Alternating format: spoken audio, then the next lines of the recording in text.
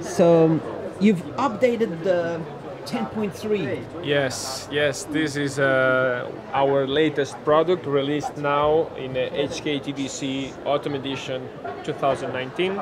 This is the new Boox Note 2. And now it has a fingerprint sensor right here, right? Yeah, it has a fingerprint recognition here to unblock the device very, Securely. very fast. Nice. Because you want to protect all your documents, all your work. Of course, I mean, users need to have the, the possibility of have a secure device that if it gets stolen, they don't get any specific information they may have. Is really encrypted the data? Yeah, So even the person who steal it, there's no chance they can see the documents. No. If, if they if they put it here, it need to unblock. Still need to unblock to Yeah. connect it to a computer. Yes, yes. So it's encrypted data. Uh, so all the notes you're taking around here about all your secret business plans, you can uh, you can say, um, uh, "I want to rule the world" or something like this, Yeah. and you hide it. You don't want everybody to know. Exactly. So this is one of our latest features for the Note 2. Uh, for the ones you already know, the Max 3, this guy here. Uh, this is the, the 10.3 using. Can you hold this? Yeah, sure. Are you holding? Yeah, yeah, hold it. And uh, let's let's let me just change the. So how do you change the front light here? Okay, Here, here. yeah. And let's turn it down. Uh, so now they're both without the front light. 10.3 inch. And this is 13.3. Yes, the Max 3 and Note 2, next generation of their sizes. Max 3 was, was released in IFA Berlin early September, and uh, the, this one October. And it's um, it's the same platform now. It's an octa-core ARM Cortex A53 64-bit Yeah. Qualcomm. Yeah, right? yeah, The exactly, exactly. You said it better than me. Okay. Yeah. So um, that means it's a powerful, speedy, long battery. This uh, this solution makes the device runs much faster. Uh, in order to be a e-ink based uh, product, uh, it runs faster and is, is even more energy efficient than before. Uh, besides, we have increased the battery uh, in uh, 4,300. I mean, we have increased it 200 milliamperes more. Now it's 4,300 milliamperes battery. So how long battery life do you have? We- how long can you use this? I mean, uh, if you are using the device, as always, six to eight hours per day. I mean, we always keep like between six to ten days. I would say six to ten days using it regularly and setting up the configuration of the device appro- appropriately, like uh, uh, and uh, turning off Wi-Fi after several minutes if you are not using it, or going to sleep mode after several minutes if you are not using it. This type of configuration will help to use a device for longer time before you charge it. Yeah. So like uh, two weeks, one month. As I, as I said, if using it every day, about six to ten days, maybe wi- with these 200 milliamperes uh, more, you can get a little bit more of battery. But uh, I would say these uh, six to ten days for sure, for sure. Nice. Maybe later, if you don't use it six to eight hours per day, because not everyone is going to use it that long, uh, then you can even have it maybe half month. I think one of the challenges probably also is what's happening right here with the Wi-Fi. So when you have Wi-Fi turned on or the Bluetooth also, it's important to have a chipset that's very energy efficient, so you don't use too much power. Yeah, so for that reason, uh, the Qualcomm is one of the one of the these possibilities provides us this possibility to be energy efficient and to run the device for a longer time. Qualcomm basically invented Wi-Fi, kind of, or something like that, right? They- They're really expert in keeping the power low when you do this kind of stuff. Because uh, let's say you want to sync, um, which you still have over here. Yeah, to sync the to bin the device with one of these accounts, Evernote, Dropbox, or, or OneNote. So when you sync right here, it's going over Wi-Fi. So you want to have long battery life while you sync. Yeah, exactly. So that's that's one of the purpose. And now we are using Wi-Fi 5 5G. It's five gigahertz, so Five even gigahertz. better connection. Yeah, better connection. Uh, yeah, better connectivity with uh, different networks. Because uh, those e- ebooks and uh, documents that you want to sync, it's small data, but you want to be optimal, so you don't want to use the whole battery in one day. There's no point in having e-ink device if it's only one day battery. Of course, of course. That that is what would be our difference uh, against LCD tablets. If uh, if not, the, the battery is one of our main uh, differences, and we keep improving that in our devices. So what happened since IFA? IFA was only one month ago, but what happened? So did you have even more stuff happening with the software already? Um, not with software exactly. I mean, we improve our devices. The, the may probably if there is some bug or if there is uh, some new features coming on, it will be constantly improved. Because of- it's really shipping, right? Yeah, this one Max 3 is we are already selling it um, in our bookshop and in Amazon, and uh, of course.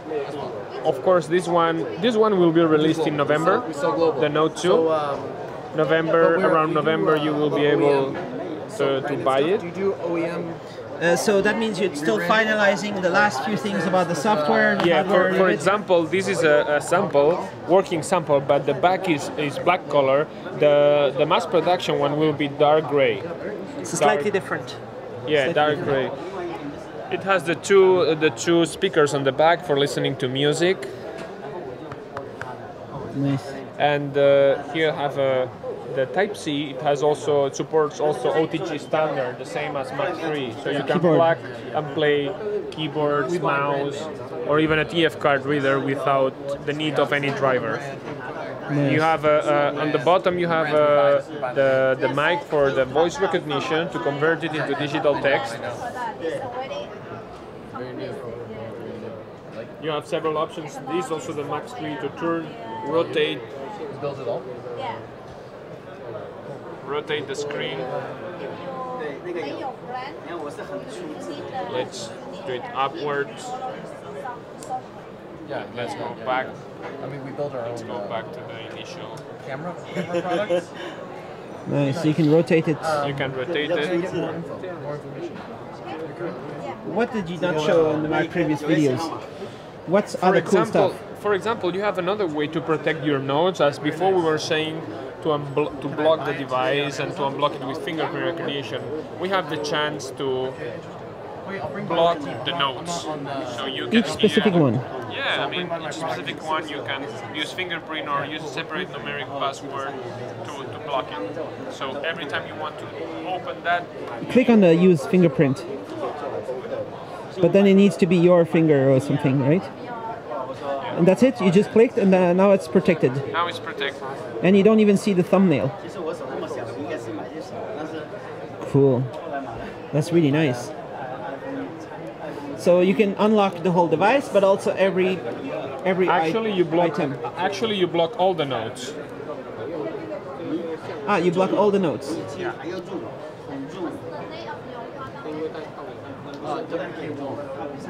So once you do this, it just everyone. And now you unlocked it, all of them, or just one at a time. Just just one. All right. I think it's very important. Functionality is very good. You have very cool. You have this stuff working. Yeah. And then does it hook them to, Um, to Kindle or any? Maybe I show you also the possibility when you How do you get ebooks on it? when you read some text. Okay, maybe not this one. Download the application after connect the Wi-Fi also. You can use a split screen and doing it with the same with the same document.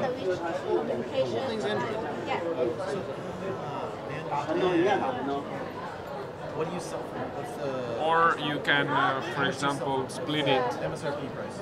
with along with another document. No, no. How much uh, dollars? But when you split the same document, you want to change both pages every tap, no? Yeah. And you have that functionality also. For example, for the note scores, you want to have two pages of the notes of the score.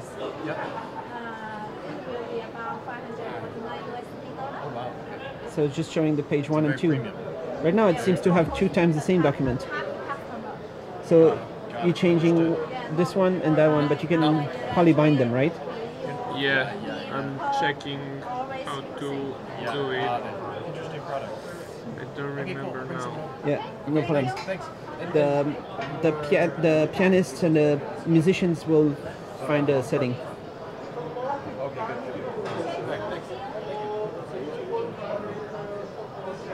Yeah, there's okay. a way. There's yeah, a way. there's a way. All right. And finally, you can also split screen with your notes on the side. The good thing is when you take your notes, when you are reading a specific book and you're taking notes on the side,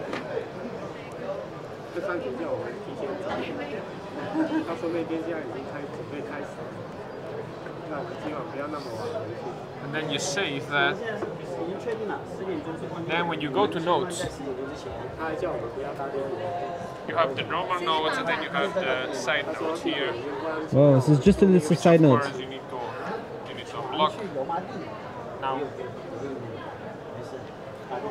And you will get the notes you take. Nice. The, here you have the navigation ball, which is a very uh, useful um, feature because you have direct access to different uh, functions like going back, volume control, multitask management, you can manage the different apps. Can, you can just close all of them. Now let's go back. You can turn it off. And the, the, the good thing is that you can change those features of the navigation ball through, through its app. You can choose, okay, what thing is what. Let's change this one for screenshot. So now we go here and we do a screenshot. Hmm saved in storage pictures screenshot so then you can go to the storage storage pictures screenshots and find the screenshot you take. And then of course take notes on the same. And later on to share shareability find it. Shared on WhatsApp. Cool. Sport settings.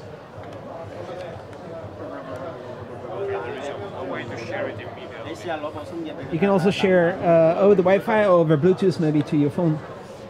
No, Bluetooth uh, Bluetooth still is just for connecting with Bluetooth uh, accessories such as the keyboard, such as the, the mouse, etc. Headset, very important to listen. You can listen to your music inside of the device through a, a Bluetooth headset, or text to speech, or podcasts, etc.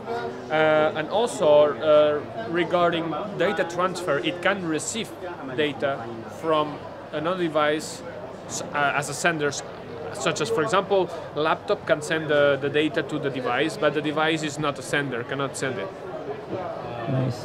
and uh, wi-fi yeah you have the wi-fi transfer which as, as far as it's connected to the same network you can transfer the data And I guess you can install the Kindle app, for example. yes And as far as I remember, they have a really amazing feature where you have the ebooks, but at the same time you can get the audiobooks while you're reading. Maybe that's might be one of the functions in the in the Kindle also. It depends on the app, right? So if the app supports audiobooks, you could be reading and at the same time on your Bluetooth headphones you have account? listening to yeah i'll give you the password one two three four.